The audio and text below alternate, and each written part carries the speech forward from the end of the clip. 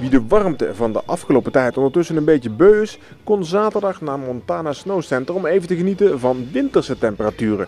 Op de Riethovense piste vriest het constant 1 graad. Zaterdag daalden vooral freestyle snowboarders de speciaal geprepareerde sneeuwhelling af, waaronder een groot aantal internationale toppers uit Zweden, Noorwegen, Duitsland en zelfs de Verenigde Staten.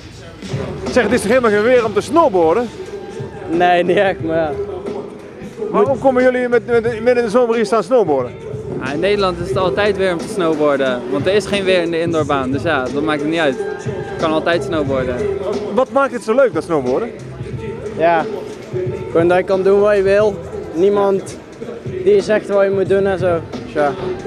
Inderdaad, er zijn geen regels. Iedereen is altijd stoked voor elkaar als ze iets nieuws proberen en het lukt. En ja, gewoon altijd een beetje spelen en eh, zo een beetje nieuwe shit leren. En uh, ja, samen met je vrienden gewoon stoked zijn voor elkaar.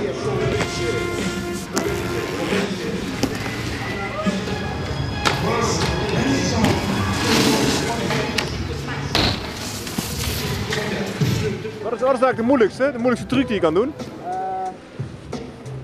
Ja, het zijn allemaal verschillende dingen. Ja, je hebt bijvoorbeeld schansen, je hebt halfpipe, maar je hebt ook rails. Dus ja, ja, kan ik niet zeggen eigenlijk, ja.